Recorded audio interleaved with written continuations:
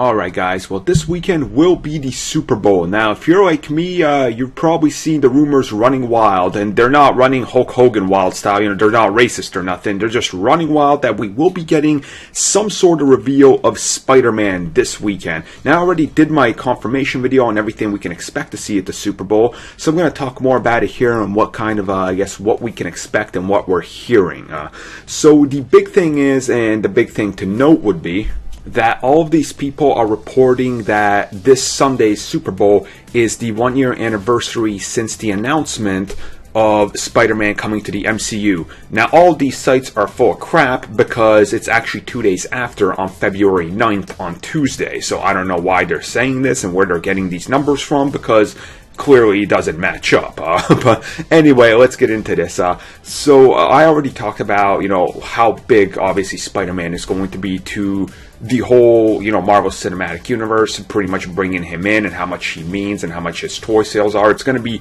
a huge deal, which is part of the reason we actually haven't seen Spider-Man get revealed yet, which is why we haven't seen a single frame, and which is why they're holding back all the merchandise and why he's been blacked out and certain toy, you know, figures have been shown off because they don't want us to know what he looks like because it is such a big deal.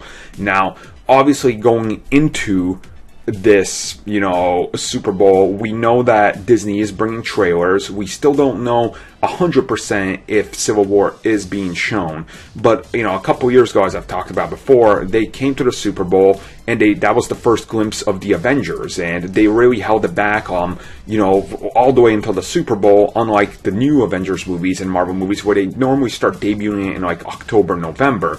So we only gotten like a teaser trailer so far, not even really with the first Civil War reveal one, which obviously makes people think, well, now they got to start, you know, pressing into this advertisement because they're only about three months away and three months is the optimal time. That's when you start putting everything out. That's when you're going to start pushing the first wave of toys out. Um, sometimes you can wait till two months away, but you know it, it gets a little sh- shaky in there and uh, time placements and everything. And if you go to your local toy stores already, you're going to notice that Age of Ultron toys and everything has already been cleared off shelves in the Marvel sections, so they're making room. You look at some of the advertisers out there; they're already going to start shipping shirts uh, as early as actually next week. So everything's kind of lining up now.